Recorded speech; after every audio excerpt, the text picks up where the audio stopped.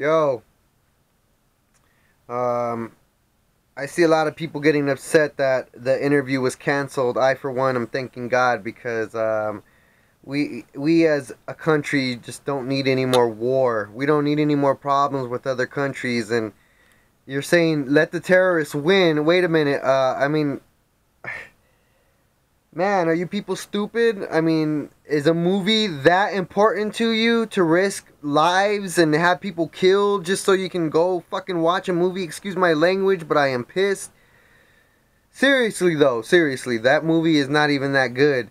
James Franco and Seth Rogen are whack. They're whack. Their their funniest movie was probably Pineapple Express, and that was even whack.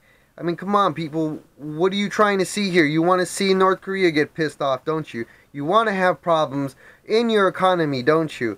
I mean, seriously, I, I don't see the mentality of wanting to pick a fight with another country that, you know what I mean, we have no business picking fights with. Um, but if you think that's fun and you think it's funny and you think it's okay, then man, uh, if they do release that movie, then I hope you're the first person in the theater to sit there and watch it. Because I, for one, do not support that movie. I think it's stupid. I think it's even wrong that they were going to let it uh, be released on Christmas Day. It has nothing to do with Christmas. We don't want to tie anything, any type of war political movie in with with Christmas. Okay, come on now, man. This is just whack. Y'all need to wake up.